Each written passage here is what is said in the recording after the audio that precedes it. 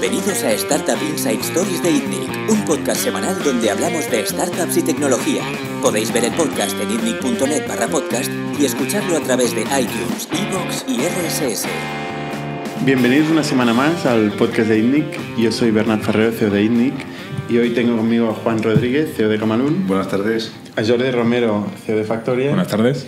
Y esta semana a Ben, eh, de Yugo. Sí, ¿Qué buenas tal, Ben? tardes. Bien. gracias. Pues a ver, siempre empezamos con lo mismo, que es eh, hablando de, de la historia, tu historia personal, eh, pre-Yugo.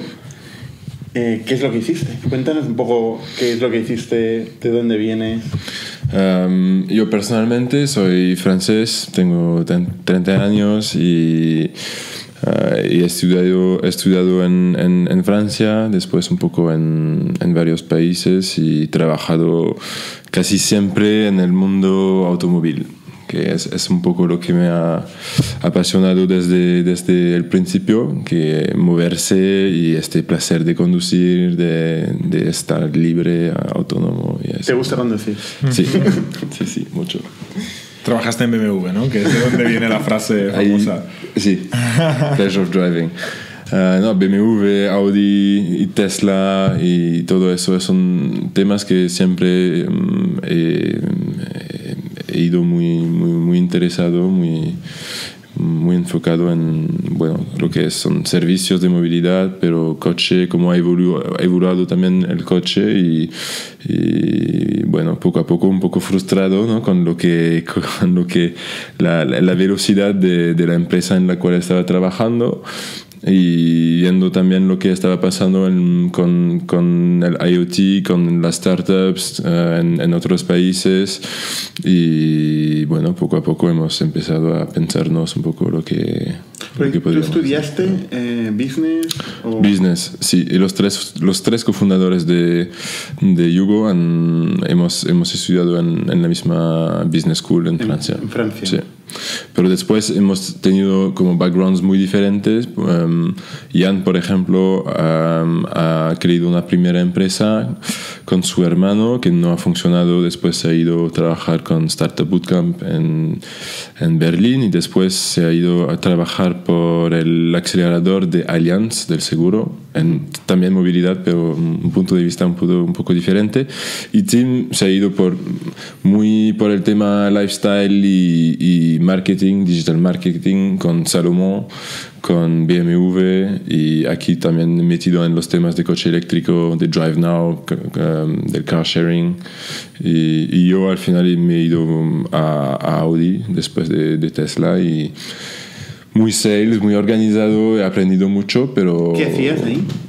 En Audi estaba manejando todos los temas de pricing y, de, estrategia de producto por los países, los primeros años por Europa del Sur y después del norte, como que está en Escandinavia y eh, todos estos países. Eh, viajando mucho, con, creo con, con sueldos también eh, alemanes muy, muy bonitos, como muy bien sentado, muy confortable la vida, pero mm, los tres hemos llegado a- al mismo momento en una, como cuando la, la curva de, de aprendizaje, o como se dice, de- de, mm, no, no, estaba después de un año y medio en, en cada promoción, en cada nuevo trabajo, pues estaba súper, súper flat, ¿no? Y, y queríamos algo con más, más eh, velocidad, más challenge y aprender mucho, mucho más. Y, y bueno, estaba el momento perfecto y, y nos hemos, al final la historia ha, ha empezado por casualidad porque hemos, hemos eh, probado una moto eléctrica de una startup alemana eh, en julio 2015 y ya estaba con batería extraíbles y pues súper rápidamente hemos hecho el paralelo a- al car sharing porque habían rápidamente hemos visto que desaparecía eh, los dos puntos claves de- del car sharing que, moleste- que, que nos molestaban que, que son quedarte bloqueado en el tráfico cuando pagas por minutos era un poco um, un problema y, y encontrar un parking como eh, con la moto te, te aparcas y no, no, tienes que hacer vueltas y vueltas antes de, de encontrar tu... O sea, vosotros veis una moto eléctrica en Alemania Sí. eh, con batería extraíble, Sí. le dais vuelta y decís esto es extrapolable al, al modelo de car sharing en las ciudades, Sí. ¿no? Y puede existir un servicio donde haya flotas de motos en las calles, Sí. cualquier persona pagando eh, por minuto pueda coger cualquiera de estas motos y ir del punto A a punto B. Sí. Sí, es eso. Al final, es a- de, de un punto de vista usuario, solo pensando, vale, es como un, un vehículo muy, muy adaptado a la ciudad, mucho más que un coche, y te da esta, este valor añadido de no buscar un parking e irte más rápidamente. Y de un punto de vista business, habíamos visto también dentro de estas empresas que no estaban buscando una rentabilidad rápidamente y que es también súper difícil. Um, ahora se ha visto en los últimos, hace dos o tres meses, que BMW y Mercedes se han adjuntado los dos servicios para encontrar sinergias en gastos y para intentar estar rentable eh, juntos, pero ya, ya están en muchísimas ciudades. Y para nosotros es también el servicio dado al usuario es, es muy más o menos lo mismo que con un coche, a la diferencia que puedes tomar solo un pasajero eh, versus un CAPEX que es mucho más bajo y te permite eh, pues intentar estar rentable mucho más eh, rápidamente Comparándolo con el car sharing, ¿eh? Con el car sharing. ¿Tú realmente crees que es Pero- comparable? Porque para mí, Yugo eh, siempre ha sido eh, la velocidad. O sea, yo coger un coche en Barcelona no se me ocurre a no ser No, que tenga que ir ni- lejos de Barcelona. es verdad, pero- Y para mí el Yugo es en plan, en 5 o 10 minutos me planto donde sea. Es que también Barcelona es una ciudad muy Sí, particular en la ser. cual no se puede circular con coche. Por eso y por eso también no hay ningún car sharing aquí. Um, en, en- en Múnich es una, una ciudad muy bien organizada con muchas eh, ap- mucho aparcamiento y sí que nosotros lo, lo hemos tomado mm, un poco como, como un yugo para irse a un bar, para ir Ok. al deporte. Aquí no se me ocurriría nunca, obviamente. Porque hay plazas, pero sí, sí, no. a- Aparcar aquí es media hora, quizá. Ya. 15 minutos, media hora. Depende de la cantidad de gente que sea, si tienes que transportar cosas, todo. Sí, sí, hay, no, hay- no. hay mercado para todo. Estamos hablando de movilidad También de es cierto personas que, que, es cuando, enorme. cuando voy en Yugo con las compras, eh, no sé qué y tal, eso... bueno, de hecho, de las motos de show. yugo es gente cargando cualquier tipo de cosa. Ya, ya. ¿Qué es esto? Bueno. Entonces, ¿cuál es la, la, la historia, no? ¿Cómo os encontráis los tres que habéis estudiado juntos? Sí. En Múnich estabais en aquel momento. Sí. Y decidís ir a. Barcelona a arrancar una startup. Sí, sí. Al final el momento estaba el bueno y, y hemos hecho un par de números, como, como he explicado, y bueno, queríamos contribuir también un poco a, a la movilidad, a, a los vehículos eléctricos. También es algo que nos ha gustado desde el principio de la idea que este vehículo no estaba adaptado a venderse a- al usuario final porque había también barreras que son el precio, porque un, un scooter, una moto eléctrica es súper... Tú te has comprado una, pero no es eléctrica, supongo, ¿no? Exacto. Por Eh, precio, yo quería una Por precio, eléctrica. Claro, claro, Y- no, no. Y- pero Carísimo. Normalmente es número uno es el precio y número dos es cuando, cuando ya te batería, vas ¿no? pensando con la recarga de las baterías. ¿Por qué es tan cara una moto eléctrica? por las baterías, como los coches. Que Lo caro es la batería. La batería es un tercero del precio del vehículo, mm, casi lo mismo en los, en los O coches. sea, vuestra inversión inicial fue fuerte. Eh, ¿la, la nuestra? No, porque hemos empezado con tres motos. Y esta historia quiero escuchar, ¿eh? Porque creo que es de las cosas más interesantes de vuestro modelo. ¿eh? Bueno, es que hemos arrancado... Llegáis a Barcelona, los tres. Sí, no, los dos, porque... Una moto para cada uno, ¿no?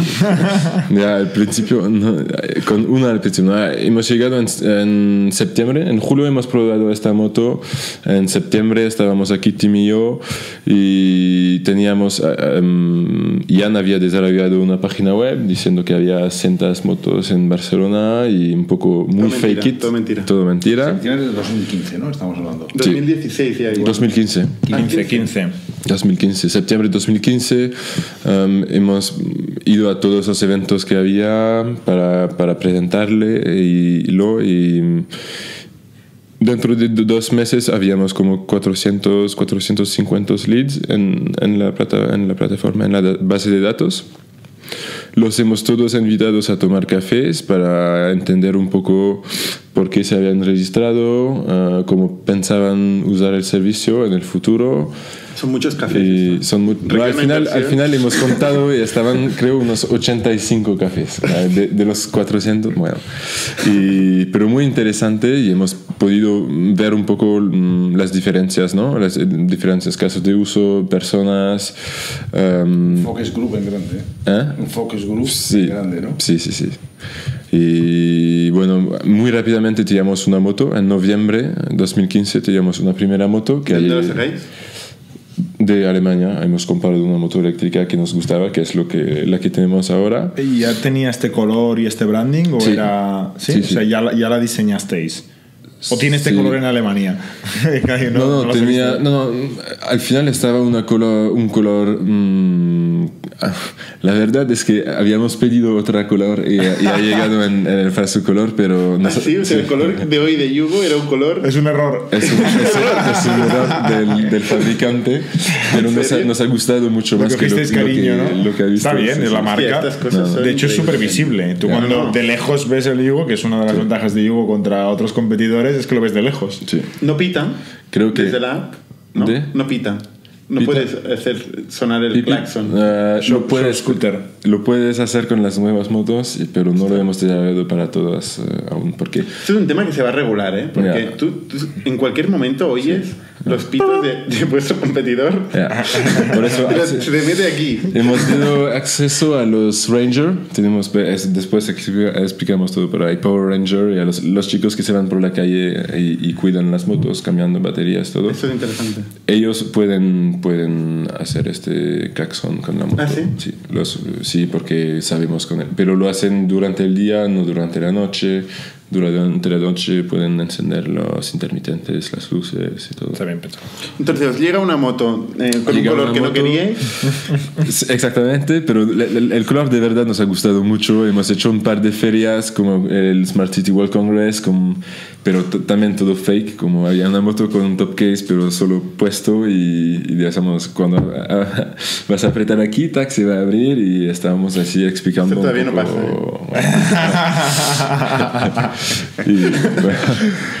y, ¿no? y cuando hemos tomado los cafés también hemos, hemos enseñado esta moto para ver un poco la reacción, porque cuando habíamos probado esta moto, otra moto, pero en, julio de 2015 por primera vez, habíamos directamente un sonrisa así, la gente estaba mirando y después de este trayecto te dices, wow, ok, ¿por qué no he conducido una moto eléctrica antes? Es tan cool, quiero una y, y eh, la startup que tenía esta, este producto tenía 30% de conversión después del, te- del test ride en, en pagar una moto de más de 1.500 a 2.000 euros. Como, eh, el efecto es, es, es cool porque es nuevo, es algo...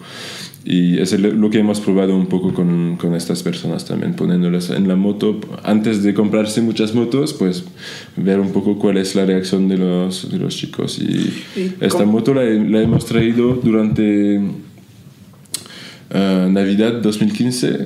eh, lo hemos puesto en, en, en un coche y lo he... Lo he Uh, lo hemos traído a, a la casa de, mi- de mis padres y con mi hermano y mi padre hemos hecho el, el pr- primer prototipo de la tecnología con un Arduino al, al principio muy básico para encender la moto, ver el nivel de batería, el estado de la moto, abrir el top case y también mm, un sistema para ver si el top case estaba abierto o cerrado físicamente. Y, y eso en dos semanas al final lo hemos conseguido y, y en paralelo, eh, en un mes, en el mes de enero, los chicos también han, han podido desarrollar la, la web app. Um, hemos comprado tres motos porque estamos cuatro en este momento y esta vez ahora ya como hay una moto para cada, cada uno, si falla pues eh, tenemos una moto. ¿no? De los casos que hay una moto. Y, y- y en febrero, medio febrero 2016, hemos abierto el servicio eh, con tres motos y una para nosotros. Y bueno, había tres motos en más de 30, 35 kilómetros cuadrados. eh, Per- Perdona, antes de esto, ¿por qué Barcelona? Ah, bueno, estaba un match muy, muy bueno entre, entre lo que... Primero por el pro- proyecto, claramente. hemos buscado primero como ciudades en Europa con cultura de motos, eh, con densidad de motos. La verdad es que eh, Barcelona tiene una cultura de moto brutal. sí. Italia también, quizás, ¿no? Hay Roma, hay Roma, eh, Roma que sea, es un, no sé, es una guerra creo entre los dos, no sé quién es primero, pero um, Barcelona tenía muchas cosas más que Roma, de, del startup ecosistema, de, de, de- las iniciativas Smart City, del Mobile World Congress, de, y, eso, además de que a nosotros personalmente nos gustaba más eh, Barcelona como ciudad o el español, el español como ¿Cuánto idioma. pesó? ¿Qué, y- qué parte pesó la, personalmente? ¿Os apetecía venir a Barcelona? ¿Y qué parte racionalmente el negocio tiene sentido en Barcelona? Eh, ¿O simplemente fueran las dos? No, creo que son, es la- son las dos y, y, eh, es un momento bastante cool porque te miras en los ojos y piensas, ok, ¿dónde vamos a irnos? Hay uno como, solo puede ser Barcelona, Barcelona, sí, sí, sí, y, y como ya en O sea, cinco tampoco, minutos... fue, tampoco fue un estudio de mercado estratégico. No, un de poco, pero McKinsey. hemos, hemos mirado densidad de, de, de, de población. hemos Exacto, es lo que iba a decir. mirado- Densidad es la primera, creo que es la primera ciudad de Europa. Sí, pero no fuisteis a la India o a China. No, no, no. no. Queríamos hacer algo aquí, aquí en Europa primero y ya, ya es bastante difícil en otro país. ¿Y por qué no Eh, París? eh, en París había, había City Scoot que había empezado Ok. eh, justo, justo. Um, pero primero, como personalmente no queríamos tanto irnos a París y de, de un, un punto de vista eh, business, bueno, ya había un competidor, no había en, Barcelona, había Motit que había, ya cerrado una vez antes de volver a venir en en el mercado. Y, y París tienes, tienes gastos enormes. Para, eh, eso es, es algo que sabíamos como emprendedores, que irnos a Barcelona o irnos a París, en París tendríamos quizás seis meses de dinero propio para sobrevivir. En Barcelona, pues quizás 8 o 10 meses o 12, al final fueron más 18 meses que necesitado. Vas bajando los gastos. Pero, eso, pero en el momento que haces tu primera ronda de inversión siempre estás un poco así, la primera, primera, y, y- y nos hemos pensado que, que bien que no, no estábamos en París porque eh, sí, es muy Hasta llegar a Barcelona y tres motos, eh, ¿cuánto habíais gastado más o menos?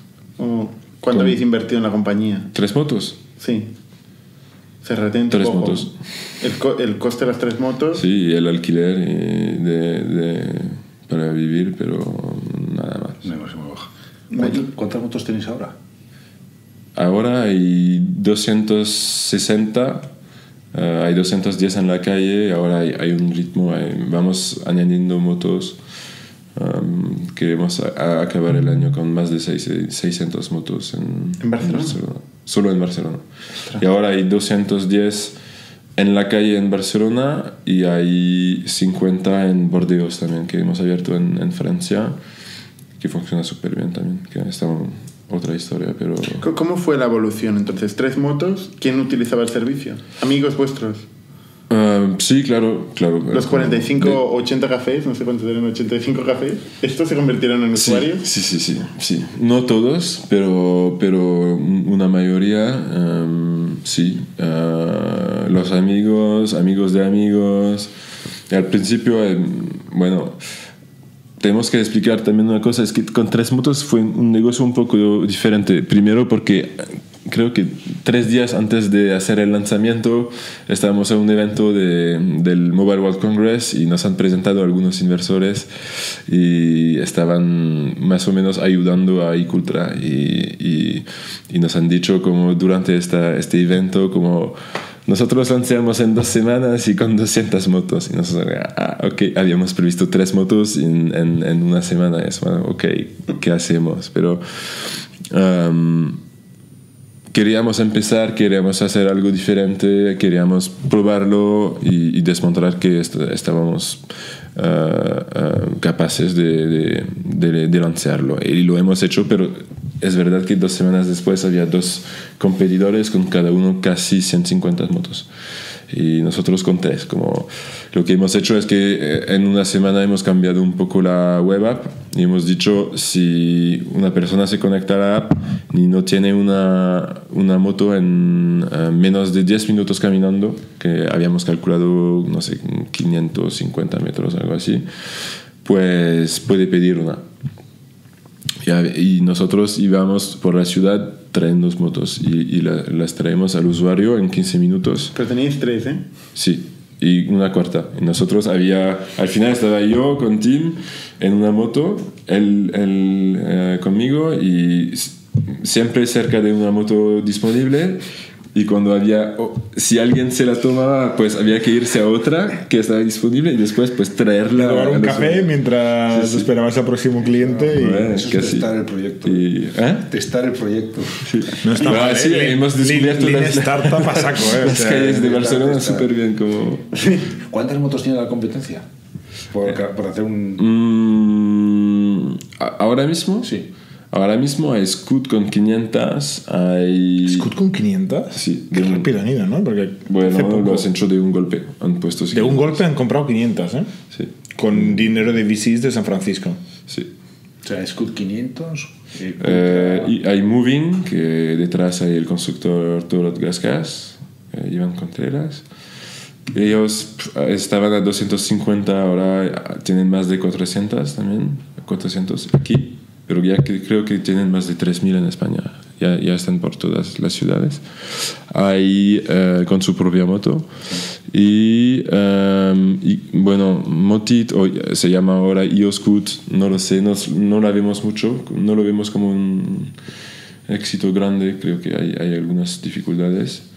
Y, eh, y Cultra estaban a 550 durante casi todo el año pasado y ahora no lo sabemos exactamente, pero mm, quizás cerca de 700, 800 en Barcelona. O sea, os habéis igualado los tres en número de motos ahora mismo. Vamos, vamos a igualarnos. Ahora mismo no, a final de año, ¿no? O sea, vais en camino a Sí, sí, estabilizaros. Antes de, de llegar al, al mercado y tal, o sea, para acabar con la historia, porque estamos viendo... Estamos en tres motos de momento. Sí, claro. Y, y vosotros, Tim y tú.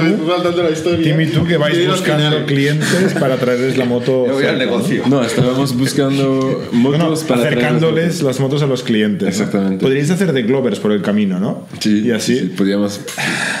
Pero no, estaba ya, porque también había que reparar motos y cambiar baterías, así que... Y hacer una ya. página ¿Trabajo web de oficina? encontrar. ¿Trabajo de oficina por la noche o cuando? Por, el- por el- durante el día estabais dando vueltas. Al principio sí estábamos cuatro personas y principio, principio, después hemos, mm, hemos tenido un poco de ayuda de Francia, de becarios, todo para, para conducir las motos ya. Y, y- ¿Se pregunta de un becario para eso? De Francia. estaban- en moto. Amigos, estaban contentos de estar en, estar en, en- en Barcelona por eso, pero... sí. Entonces, de, de, de ahí, ¿cómo escaláis hasta la siguiente fase? ¿Cuál es la siguiente fase? La siguiente fase fue pues en, en irme yo al constructor en Alemania, a explicar que había, eso fue en, en abril 2016, explicando que había, había 200 personas compartiendo tres motos en Barcelona. Y hemos explicado que estaban sus motos y que habíamos hecho modificaciones y explicando un poco el proyecto, le- les ha gustado y nos han dado una, una financiación para comprarnos 18 motos más. Hemos llegado a unos 20, 21 motos. Um, y con, con eso fue, fue, fue cool y eh, fue bien porque han llegado en mayo, justo antes del verano. Y con, con estos números nos hemos ido a bus- buscar primera inversión. Y hemos ¿Cuánto facturabais? Nada, no sé, va, que, lo tendré que verificar. Pero Con- con muy 20 poco, motos. poco. Había una, una, una súper buena atracción, y, y- pero traer aquí. poco. Ya. Junio, agosto, ya. quizás 3.000, 4.000 euros estaba aquí. Mensual, ya. Pero había algo y creo que teníamos una historia, teníamos también mm, desmontado un poco mm, que estaba algo que queríamos de verdad y que estábamos eh, preparados para hacer todo lo necesario y también hacer cosas que no estaban escalables al principio para poder desmontar algo, ¿no? Que después hay que escalar. Pero también otra historia es toda la atención al cliente que, que hacíamos por WhatsApp al principio porque um, hemos desarrollado la web app súper rápidamente, pero no sabíamos cómo, cómo hacer un chat directamente en la app, lo que no queríamos hacer. Así que con cada nuevo usuario um, habíamos abierto un grupo eh, con él y los tres cofundadores. Y, Curioso, ¿eh? y con smileys, con GIFs, y así hemos visto que es un canal súper interesante, súper humano. Muy humano, muy humano. Y, y les ha gustado mucho también a los usuarios este canal. Um, vuestros usuarios eran fans, ¿no? Vuestros primeros usuarios eran Los auténticos primeros. fans de vuestro concepto, ¿no? sí, sí, sí. Sí, una relación casi personal, ¿eh? Sí, sí. Pero eh, fue- es, es algo que desde el principio mm, fue súper importante para nosotros porque hay una relación de confianza que estás estableciendo con el usuario y también el aspecto un poco que estás solo con una API y una moto, pero si, si no tienes el sentimiento que hay alguien detrás quien te puede ayudar súper rápidamente, hemos aprendido muy rápidamente que el valor real del servicio para el usuario, usuario estaba el tiempo que, que se va a ganar para ir de un punto A a un punto B. Y En que, Barcelona, desde luego. eh, y al contrario, pues si pierden tiempo con Yugo o con Motosharing, pues... Correcto, ahí jode mucho.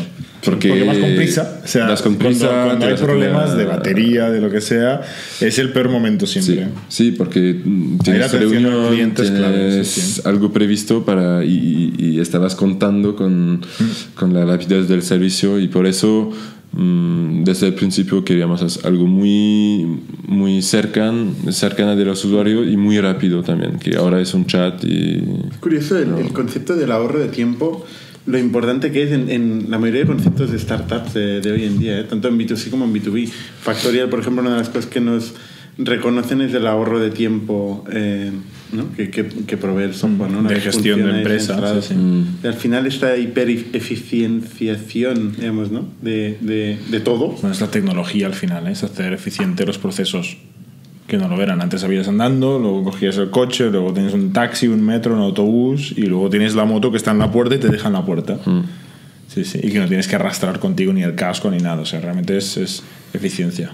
Luego el concepto vuestro es un concepto también de mucho branding. ¿no? Tenéis mucha marca, vuestras motos eran raras, eran especiales comparadas con las otras, ¿no? Sí, eso mm, fue también desde el principio como si hacemos algo lo queremos hacer como para nosotros y como lo- nos gustaría a nosotros y es un poco el trend y la educación que hemos tenido en Alemania que había car sharing pero había car to go y drive now. Y estaban BMWs Mini y Smart. Y la competencia fue pues otros constructores pues sin esta atractividad del vehículo. Y un poco lo mismo, pues un poco, un poco más apretado porque queríamos algo que sea más visible, que sea lifestyle, que sea una marca. Um, y pequeñas cosas después se hacen solo, que no, no lo hemos pensado, pero hemos empezado a... Nunca hemos pensado a poner números en las motos. Y Esa es la otra, tenéis nombres de personas. eh, son usuarios. Ah, Esto es la hostia. final- Son usuarios. Perdón, eh, esto es para reconocer cuál es, en el caso de que haya varias. Sí. Buscar a Patricia Sí. eh, es mucho mejor que buscar BVX 4032, que lo tengo que mirar ocho veces en el móvil para saber cuál es. En cambio, cuando vas ahí buscando Patricia o Cristian o no sé qué, tiene. Y al final, al principio, estaban ranking de los me- me- mejores usuarios y los mejores, como recibimos Oye, por nombre 10. está- por A ver si me 20. encuentro un Bernat un día de estos. Yo soy No creo que-. Sí, él, él es de, de antes, él me recomendó a mí, Yugo, de hecho. Yo, pero desde muy, muy temprano. Sí, de sí. hecho, antes lo estaba comentando, buscando a Ben en el email para, para ver Mm. cuándo habíamos quedado y tal, miro las anteriores conversaciones y veo que era una conversación con Ben. De que la moto no va. encuentro la moto, tío, que, no, que no está. No me cierra. Y tú has mirado en la esquina de tal. Oye, ¿y os roban cascos? Ah, sí, sí, nos han robado ah, algunos cascos. Lo difícil un poco que al final ah, vemos rápidamente que son usuarios, no es un robo donde se ha abierto el top No, no, correcto, el usuario, porque el usuario abre, Y- por 20 céntimos, sí, abre, sí, se sí. lleva los dos cascos, cierra y se va. Hay muchas personas también que se han olvidado cómo ponerlo ese, y puede pasar. Hay, hay no también sé, o que no cierra con el bien. casco no- o, o que el baúl no cierra bien. Hay Exacto. gente, hay gente que se van de la moto y la, la dejan em, eh, encendida. Eh, Sí. Te puedes pensar como que, pero como normalmente tarda unos 3 a 4 segundos máximo con Yugo, pues a veces ves que con habitud, con, con esta... Ya, confías que va. Sí, y, te- y apretas y te vas. Y, y- y- y si no lo miras, pues, pues te quedas también responsable de la moto y de- del equipamiento y eso, eso fue. Pero de- ¿Qué, ¿Qué hacéis en esos casos? no, ahora hay, hay, hay más tecnología para detectar que la moto sea parada y que hacemos verificación. Es muy difícil porque no puedes... mm, si lo haces automáticamente, eh, 100%, podrías también calcular más y que el chico sea al semáforo o, o que no tienes la velocidad y piensas que está, ah, que está em, aparcada, pero no, está conduciendo y, y cortas todo, ¿no? Y- pero ahora tenemos un sistema que funciona bastante bien, que em, un sistema de seguridad y, y lo hace em, automáticamente. ¿Cuántos sois ahora en Yugo? ¿Perdón? ¿Cuántos sois? De usuarios registrados hay en Barcelona eh, unos 24 25 mil. ¿Tú decías de empleados? No, no, de, de usuarios. Ah, vale. ¿Y de empleados? Empleados 20. 20 empleados. Sí, con, con becarios incluidos también. Tenemos un equipo también muy importante en la parte operacional porque hay ya seis personas eh, para cambiar baterías, eh, dos y rápidamente tres mecánicos. Y bueno, es, es un equipo que ¿Cómo, tiene... cómo funciona la operativa? Es decir, ¿qué, ¿cómo se cargan las Sí. baterías? Bueno, al final tenemos eh, estos chicos, lo- los llamamos Power Ranger, que se van y, y cambian las baterías. Al final son todas con baterías extraíbles y tenemos un local um, con un charging room, eh, con un- un- un- una plaza donde hay muchísimas cargadores, hay una instalación eléctrica particular que te permite pues cargar muchas, muchas baterías ah, en paralelo y ¿Y la factura de la luz es astronómica o no ha tanto? subido y está subiendo, sí. Y subirá. Pero, no, ya, bueno, después se puede optimizar también costes de, de luces y Bueno, la luz que estuvieron más. aquí en el podcast también, ¿no? Podéis la contratar a una luz. luz, sí. Creo no, que pero tienen- pero es una pregunta más o menos anecdótica porque decir, para la gente también que se plantea tener una en casa, ¿es carísimo o es razonable el coste de cargar la batería? No, no, de es, un scooter? es razonable. es- Una- eso es... es eh, Una moto, dice. ca- Cargar el precio de... Luego por, por 200. o sea, No, el- ve, lo tienes que comparar al precio de la gasolina y eh, más o menos es casi uno- mm, tendría que verificar el precio de la gasolina que no me acuerdo pero creo, creo que es casi 10 veces más barato la electricidad que la gasolina que necesitas sin para- optimizar. Y luego lo puedes optimizar con la escala vuestra, ¿no? En vuestra estructura de costes de- del negocio hay una parte que es electricidad, una parte que es mantenimiento, reparaciones de motos, Sí. eh, el propio, la propia gente que da servicio eh, en el mantenimiento. To- Todos estos costes, digamos, que, que tienen una parte importante, es decir, ¿cuál, qué- ¿cuál es vuestra estructura de márgenes para entenderlo más o menos? Mm. Al final, la, la parte la más importante de, de los gastos son los recursos humanos para cambiar las baterías y para hacer el mantenimiento. Um, electricidad al final es muy poco. Muy poco. El seguro eh, es mucho más. Es mucho más. Sí, los seguros fue, fue algo súper difícil al principio para nosotros encontrar, para mm, un modelo que no conocían, que no encaja muy bien también en los cálculos de riesgos. Y bueno, ah, pero es eh, en, en los gastos, sí, ah, claramente operativos. En, los, en el OPEX son los salarios ah, y el seguro que, que cuestan, que representan como los gastos los más grandes. Yo le pregunté si robaban cascos, motos también han La segunda pregunta era si robaban Sí, motos. Sí, ah, pero a- ahora tenemos todas las motos ah, y hemos recuperado todas las motos que tenemos. ¿Ah, sí? Sí. Am, ¿A través de la policía o con vuestro GPS? eh, los dos. A un poco de los dos, ah, pero también al final gracias a la tecnología que tenemos en la moto. Hombre, que- ayuda, ¿no? Tener un GPS Ah, en la moto. Hay dos cosas. Al final es algo que en, en la moto es diferente de, de otros vehículos, pero como no hay un mercado para venderlos, ah, Cantan un poco, ¿no? Es como el Bissing, que lo hacen así muy especial. Sí. Tú no puedes traer una moto de es se nota un montón que es una moto de. Hombre, en Y- Barcelona se nota un montón. Si te vas del otro lado de. Te vas a Moscú con No te sale a de- cuenta llevarte la moto a Moscú ahí. Mm. Bueno, son muy caras, hemos dicho. No, no, pero no hay, no hay, sí, al final lo que se roba eh, es lo que se vende más. Es, es- son parte, o por parte o en, en, en una Scoopy se robe, pero un yugo, una moto eléctrica, muy poco, muy poco. Y después, y después am, hay- hemos tenido algunos intentos de robo o robos y, y la diferencia es que con la tecnología que tenemos eh, en el Mandáis los Power Rangers. el- Porras. no, no, pero podemos Por la activar rancha. el claxon, cosas que son, ¿sabes? Y sabemos con el GPS dónde está o dónde había ido el, el último señal y nos vamos ahí activamos el claxon por SMS porque por- no, no hay más internet, pero ah, sigue con, con conexión. Tú no lo digas, hombre, que... Eh, y, y- y estás enfrente de una puerta y, y escuchas la moto y aquí llamas a la policía o cosa y la, Ostras, y la fuerte. recuperas. Sí, Pero la mayoría de los casos, eh, los chicos han puesto la moto en la calle a su mismo, porque en, en el momento donde... Se han al final- digamos. Sí, sí, sí. Si desenchufas nuestra parte de tecnología en la moto, nunca podrás más utilizar esta batería o esta moto. Porque hay, hay, hay una comunicación entre, entre nuestra box y la moto, y el controlador de la moto y la batería. Y en el momento que desenchufas, aunque tienes muy buenos ingenieros para hacer reverse engineering y software, Te quedas sin moto. eh.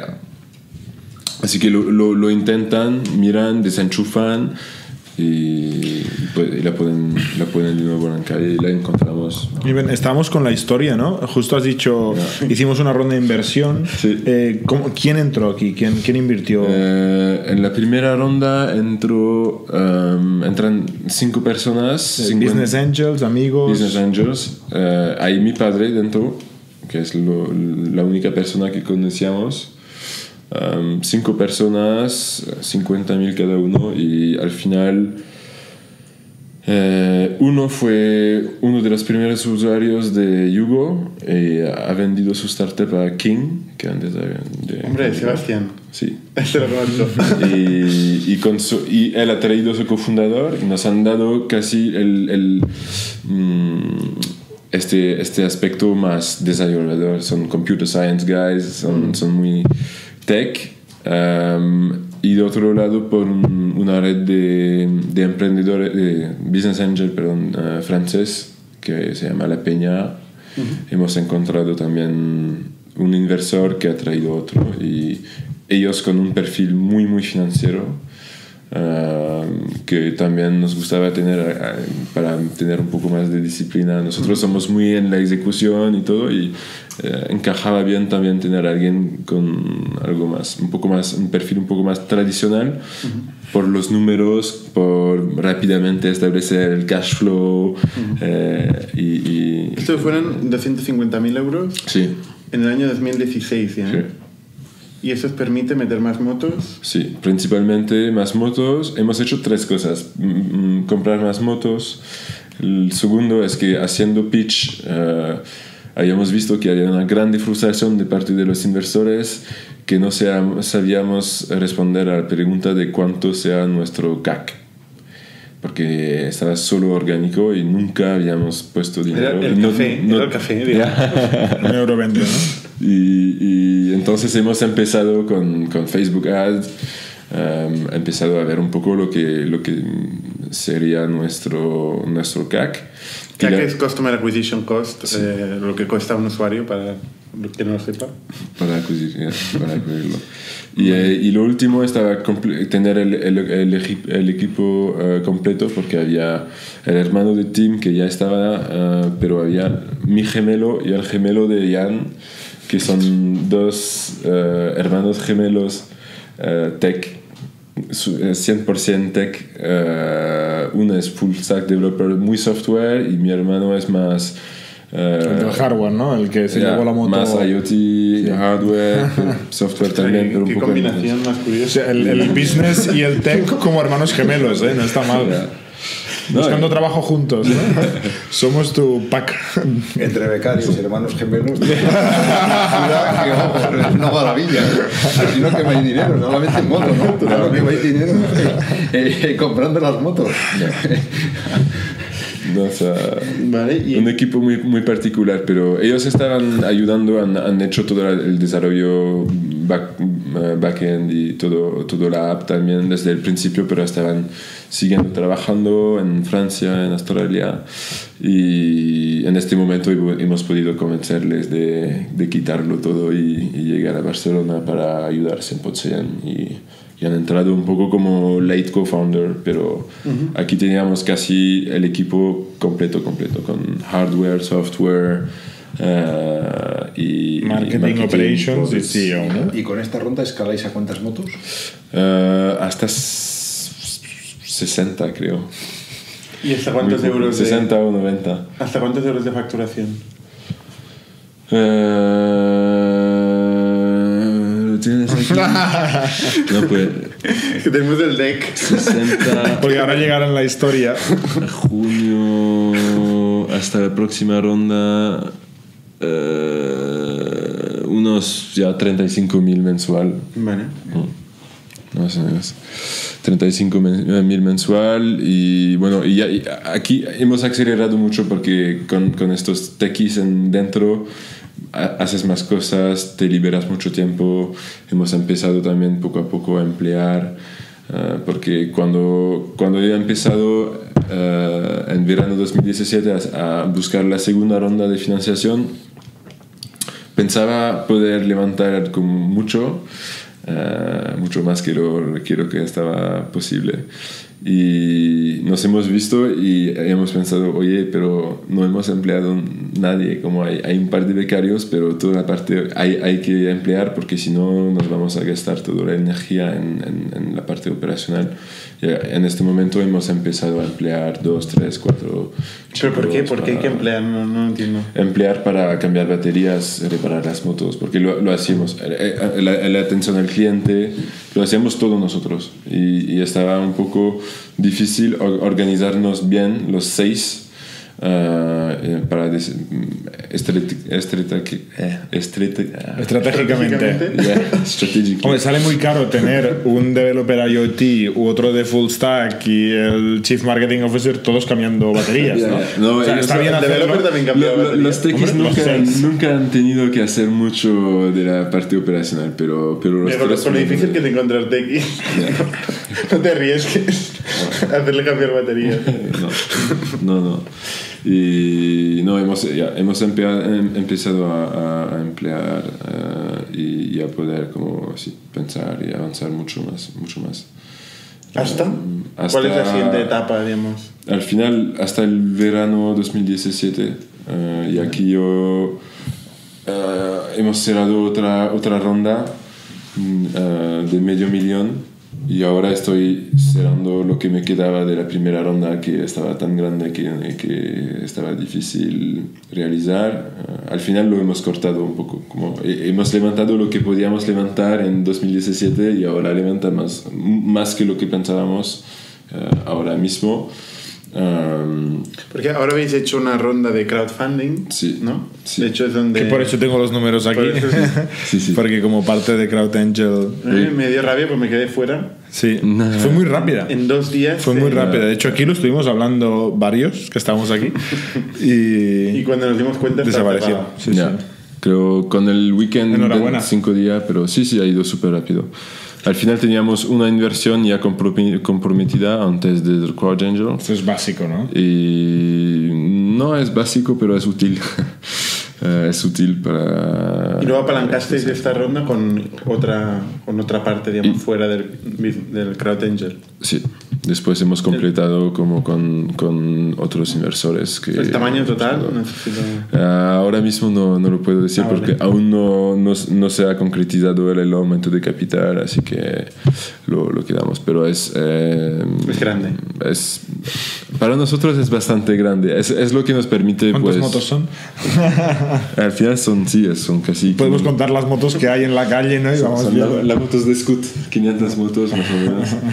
Eh, pero también en el- como es una historia, porque eh, eh, hemos empezado hace mucho tiempo a buscar eh, este, este importe y siempre hemos buscado, fue súper difícil también porque pf, nos hemos ido a muchos eh, VCs y, y, pues estaba claro que había 80%, si no 90%, eh, de, de- que, que se iba directamente al fabricante para, para comprar motos.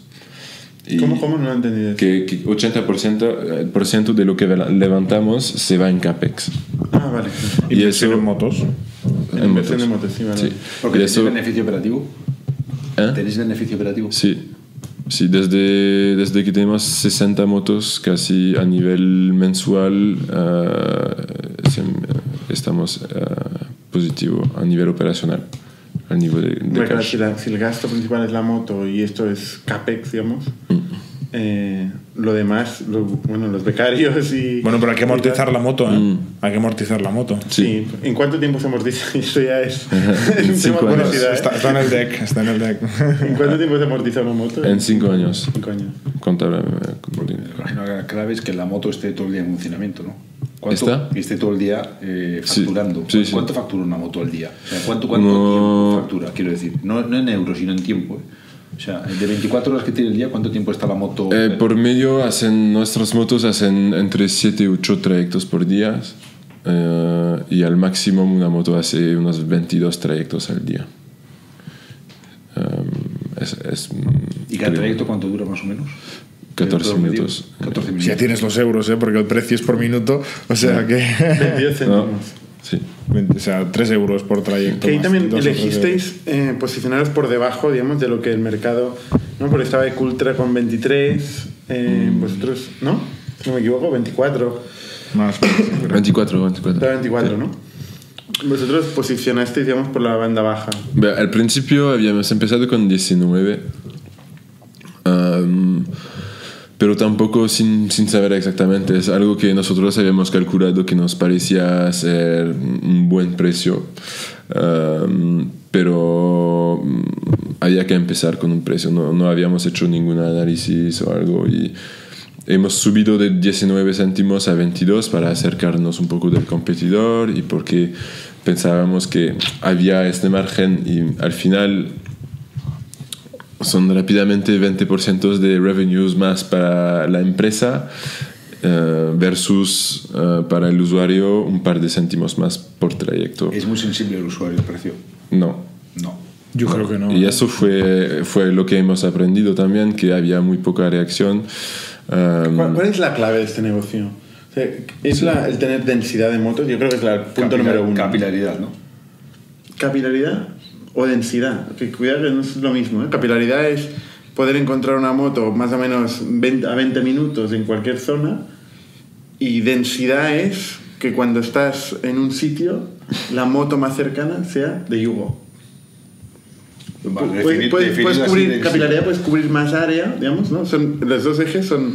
eh, la capilaridad es cubrir área, eh, la densidad es que en cualquier punto dado, a Barcelona- alrededor tengas una una ciudad pequeña, ¿no? Digamos. Sí, eso sí. Es, es una ciudad pequeña, es ideal, porque es una Sí. ciudad que enseguida cubres Sí, sí. con motos. O sea, eh, Sí, al, al final nosotros como hay, hay la parte en teoría es densidad, porque La clave. La, la clave. En realidad nosotros hablamos de disponibilidad, porque el problema de la densidad es que es, es teorética, ¿no? Es un número de moto por una superficie, pero luego hay, lo que hacemos también es, es, em, reubicar las motos lo- con los usuarios y con, con empleados también porque puedes tener muchas motos y es como has aprendido también con competidores que tenían muchísimas más motos, que hay algunas horas donde todas las motos, por ejemplo en el Eixample, eh, se van. Y tienes un hueco enorme. y- ¿Se van dónde? Y, y se van Otras partes de la ciudad, otras partes Ah, de la ciudad. fuera. pero A sí. la playa.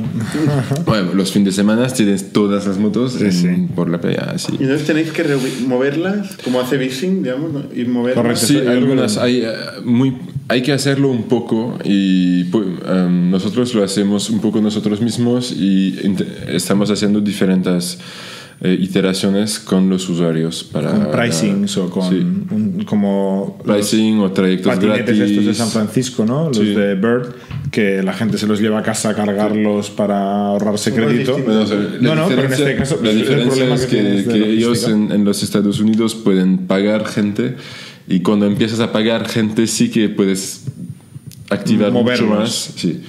En Europa creo que es un poco más difícil eh, también con O les autónomos. puedes regalar horas de, Hombre, pero esto de no yugo, es un ¿no? problema de, de autónomo, ¿no? O sea, pa- pa- pagarle a alguien para que te mueva un patinete o una moto no se considera No sé yo, una ¿eh? relación laboral, ¿no? Pagar a la gente... En los Estados Unidos se, se, se puede hacer, en UK creo que se podría hacer también Tú fácil. no puedes pagar a la gente porque sí, ¿eh? Hombre, No. Y menos para que te mueva una moto de un sitio a otro. pagar en crédito de la plataforma. Eso sí, eso sí. Bueno, no, Le puedes hacer un ¿eh? Según Hacienda tampoco. Bueno, pero le puedes hacer un descuento. Es lo mismo. Le puedes hacer un descuento. Que no es una especie... Bueno, no sé. O sea, la clave dirías que es la Es disponibilidad. disponibilidad. Es- al final es lo que hemos aprendido también, porque como eh, hemos tenido que, que competir casi todo el año 2017 con 60 motos versus pues 550 y Ultra, por ejemplo, pues estábamos pensando que tenemos que hacer lo máximo con la flota que tenemos y Reubicación es una cosa, hay otras cosas que mm, cuando miras en los datos y como tenemos acceso a todos los datos, ah, miramos un poco lo que la- el problema es que había, había una minoría de personas ah, que también siempre antes de acabar el día de trabajo estaban ah, reservando y cancelando, reservando, cancelando para quedarse una moto. Sí. Ah, eso lo he Yo he, visto, yo he visto gente que hace esto. No, y he visto el cambio que habéis hecho, que es que ahora cobráis a partir de... Eso, ya, lo hemos hecho a partir, de, a partir del momento donde en la app hemos podido dar la, la opción de extender su reserva y, y pagar un poco menos, pero pagar para quedársela. Eh, lo hemos, hemos también bloqueado la gente que, o la posibilidad de hacer reservas múltiples enseguida porque lo que hemos visto es que lo haces tres veces, como que son 15 minutos de reservas, son ya 45 Mucho minutos. por eso, ¿eh? La gente. Y al final hay hora algunos- la moto ahí. para- he. Y algunos al, al- al final no se la toman. Así que te han bloqueado 45 No, minutos pero es de dices, y- ya, ya bajo. No, otra cosa es llegar me tarde. encuentro a Yo llego Juan tarde siempre. con. Sí, Aquí sí. la clave es la rotación de la, de la, de la moto, es, es evidente, ¿no? La- ¿Cuánto tiempo, es lo que decía Que esté rodando, está sí, rodando, sí. ¿no? Y eso son cosas que, bueno, de la competencia ahora no ha cambiado aún, porque creo que no, no es su problema principal. Um, pero son cosas que hacen una diferencia y son cosas también que los usuarios han entendido bastante bien, porque es todo el sentido ¿no? de, de, de Yugo, de- del servicio, de compartir, de, de bloquear una moto solo si la necesitas, cuando no la necesitas, darle la, la disponibilidad. y- Ah, a, ni- a nivel de curiosidad, multas. Sí. ¿Recibís multas? Sí, sí, sí. Había muchas cosas así que no habíamos pensado. También hemos, hemos empezado desde el principio solo como operador estar abierto 24/7 y bueno... eh, Queréis dormir, ¿no? Tenéis la mala costumbre de Después, iros a dormir. después de un- unos meses queríamos dormir sí, con tranquilidad. Vaya eh, pijada. no con, con el teléfono en la mano, emprendedores. ¿sabes? Así. O sea, así, o sea, la verdad es los primeros meses están los tres, los tres fundadores eh, durmiendo así eh, y, y- y cuando había una llamada pues y tomar el teléfono y Desbloquear la moto, donde estaba. sí. Ahora, pero no, iba a decir que en tres años el mercado en Barcelona ha pasado de muy pocas motos a tener dentro de poco como entre tres competidores 2.000 o 2.000 y pico, ¿no? sí, O sea, está haciendo maduro, pero rapidito. sí. Sí, y las ves corriendo, ¿eh? O sea, realmente. Es que ves que hay- al final hay, hay tracción, el mercado está creciendo. También el, el el interesante de, del motosharing en general es que mm, hay mucha gente que, creo como tú, no, no, no tenían una moto antes, que son chicos que van a descubrir la moto. Algunos van a usar el- la moto demasiado y se van a comprar. O, o Yo le he dicho a. Ben que yo soy un churn de Yugo porque yo era muy usuario, de hecho de varios servicios, el que estuviera más cerca, hasta que dejé de usarlos todos porque me compré una moto. Entonces es una lástima porque lo hicieron tan bien que me perdieron de Pero, cliente. pero yo creo que eso es raro, ¿eh? Porque. No, es, No, es realidad. No, porque me educaron a usar la moto. Y dije, es que es tan práctico usar la moto en Barcelona que al final la quiero siempre donde esté yo. No, no- no El- quiero ir a buscarla. El, el- el- el modelo de precio de pricing no está, no está eh, eficaz para gente que, que, que toman o necesitan tomar la moto dos veces al día. Ya, El ya otro está. día estábamos, ay, estábamos con un amigo que nos decía que se gastaba 150 euros al mes o más en Madrid, ¿te acuerdas?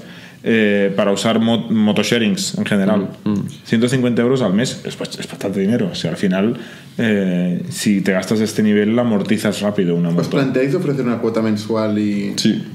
Ya lo habíamos pr- eh, probado con 60 motos, pero con un precio un poco alto y queríamos solo entender un poco lo que había que dar eh, como servicio para poder hacer un- este tipo de, de pricing.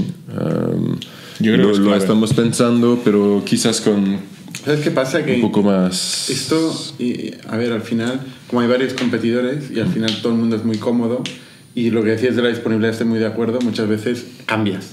Claro. por Sí, lo que sí. sea. Sí, sí. Oye, mira, tengo aquí una... No, no. La que sea. de Depende del número de bloques que tienes que andar, abres otra app. A ver si tienes que andar un poquito menos. Al final la gente quiere llegar. tu preferencia siempre que esté cerca, ¿no? O sea, que- Claro, exacto. Tú te puedes preferir Tienes una- dos principios, a no ser que tengas que andar 500 metros, que entonces dos principios, pues bueno, ya. Y luego ya no solo eso, es combinación de métodos de transporte. Es que a veces Correcto. Mm. vas caminando un trozo, luego puedes coger un, un autobús, Correcto. luego puedes... eh, Es el una- multimodal, sí. ¿no? Sí, sí. Y al final yo creo que la tendencia a nivel eh, global eh, es mm, ba- bajo de uso del, del- del transporte público en, Sí. en muchos casos. Desde luego bajo de la propiedad, bajo de propiedad de vehículos, de- con la excepción de Jordi.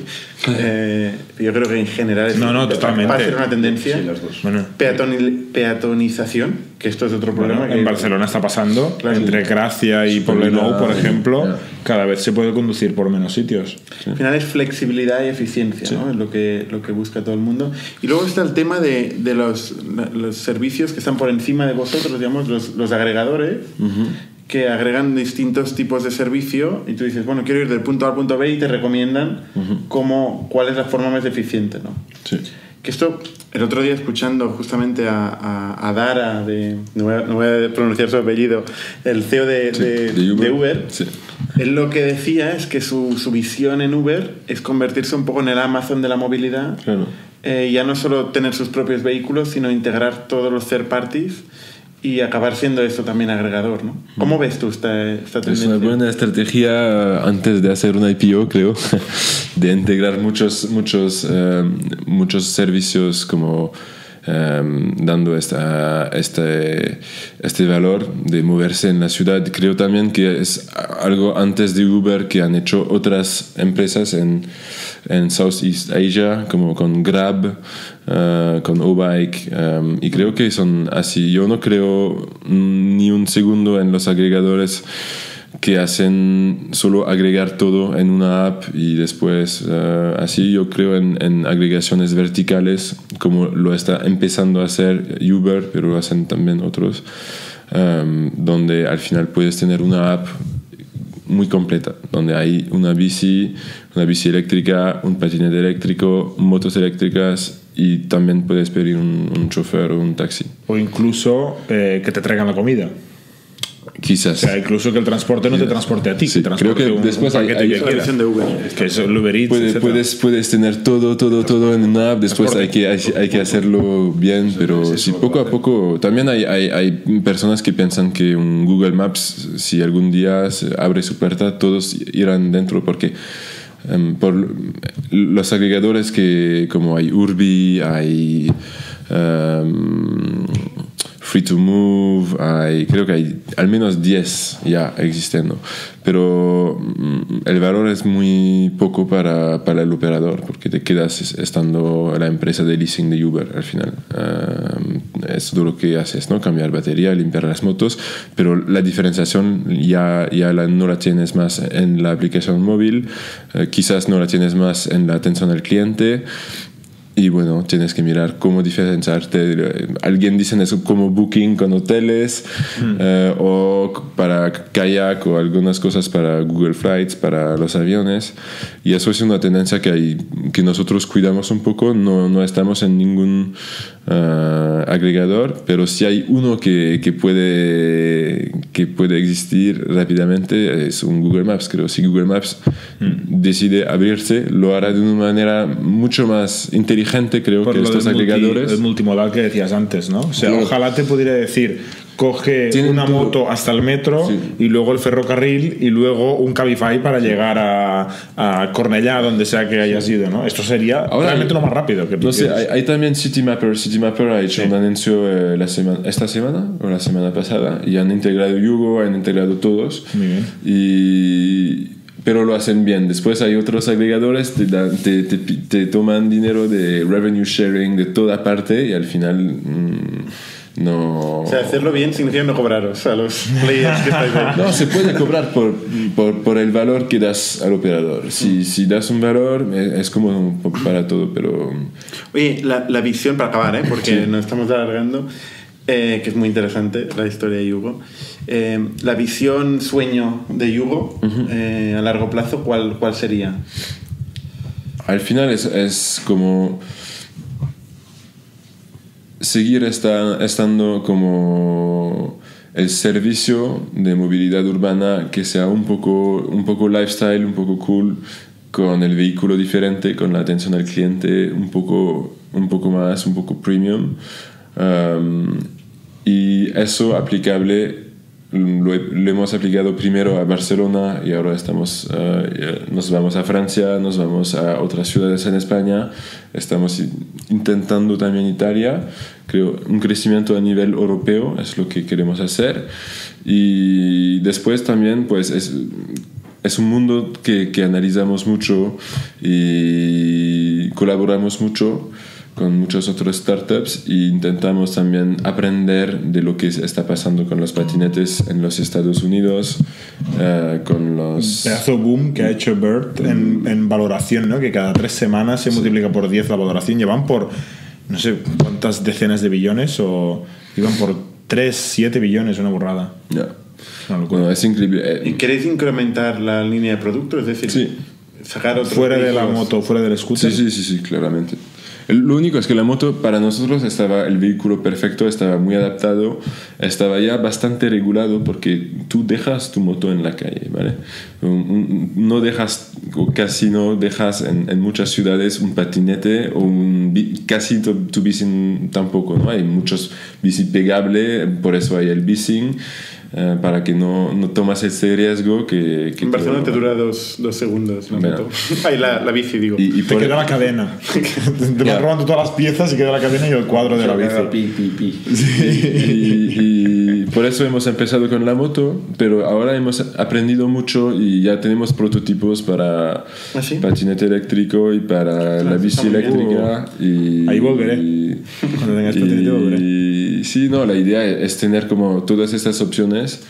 También estamos pensando, porque el patinete, por ejemplo, es difícil porque, mm, ah, para ser muy transparente, hay solo dos modelos que son bastante eh, reliable para, para usarlos en, en, en un uso tan intensivo como el sharing. Um, y por ejemplo es el, el patinete de Xiaomi, que está el, el más vendido, que usan Bird, que usan Spin. Um, y si lo usamos queremos ver cómo, eh, cómo tenerlo un poco individual, un poco hacerlo diferente, hacerlo...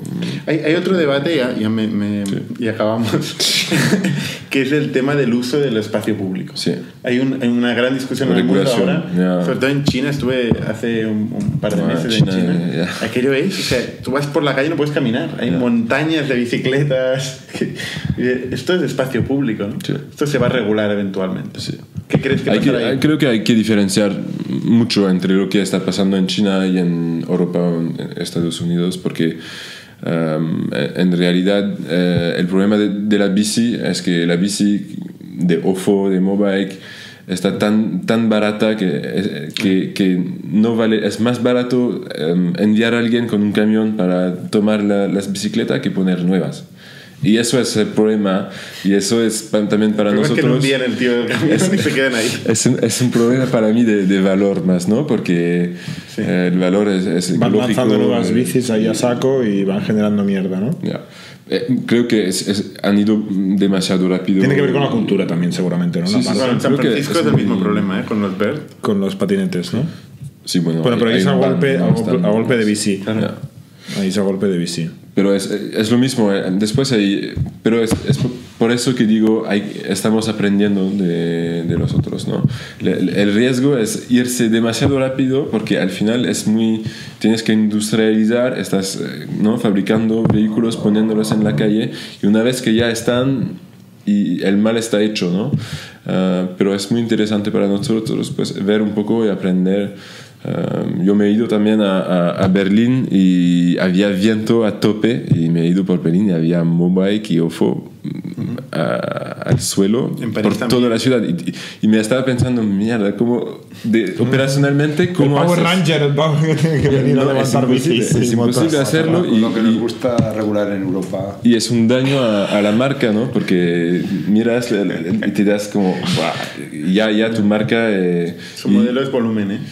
Y densidad y que pone capilaridad todos los modelos de la Pero, pero, pero sí, pero, pero Jump, por ejemplo, que, que se han comprado Uber, para mí han encontrado una solución que es un poco mm, más, eh, como es un esfuerzo más que tiene que hacer el usuario, pero con, con un lock eh, bien hecho, pues ya eh, no hay viento y un, un- un, eh, una bicicleta al suelo, y así creo que se pueden hacer cosas mm, de manera inteligente sin añadiendo un, un poquito de, de tecnología, un pequeño hack para que funcione bien y después Después es, es un poco póker, ¿no? Si tú crees que puede funcionar bien, a, a lo mejor haces una prueba, verificas que no hay tantos problemas y después tienes que irte bastante fuerte y- y Sí.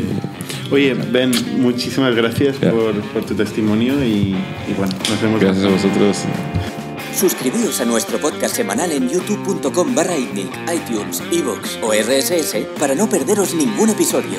También lo podéis recibir en vuestro correo suscribiéndoos a nuestra newsletter semanal en itnic.net.